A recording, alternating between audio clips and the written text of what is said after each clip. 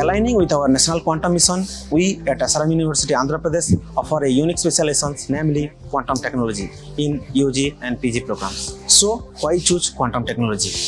Currently, quantum technology is at the forefront of scientific and technological innovation. Specialization in this field provides opportunity to develop in the quantum computing, quantum communication, quantum sensing, quantum processing, and quantum cryptography.